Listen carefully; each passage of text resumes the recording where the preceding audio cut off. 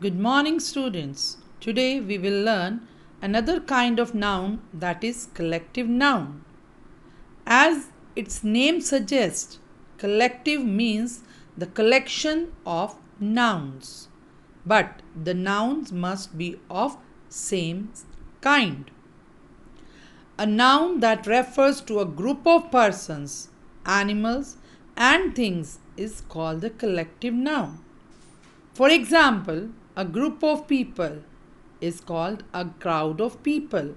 A group of sheep is called a flock of sheep. A set or group of flowers is a bunch of flowers. So, a collective noun is the name given to a group of things. It can be a group of animals such as lions, dogs.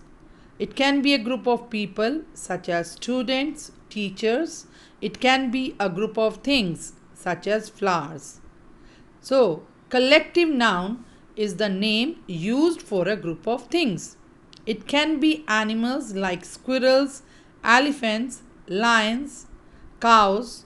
It can be things like tables, trees, fruits, flowers, etc. Now let us understand it better with some more examples. One fish is a fish. A group of fish is called a school of fish. So what is school? School is collective noun. One elephant is an elephant. But a group of elephants is called a herd of elephants. So herd is a collective noun used for a group of elephants. A lion is a lion.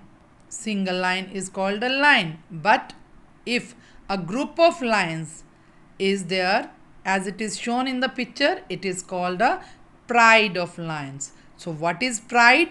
Pride is a collective noun used for a group of lions. Some more examples are there. A goose is a single bird. But if so many goose are geese are there, so it is called a flock of geese. So flock is a collective noun used for a group of geese. A choir of singers. So many singers are there and they are singing. So we will not say that the singers are singing, many singers. A choir of singers is singing a song. So choir is a collective noun given to singers. What could you call these things? A group of soldiers, an army. A large group of people is a crowd. A group of footballers, players, it is a team.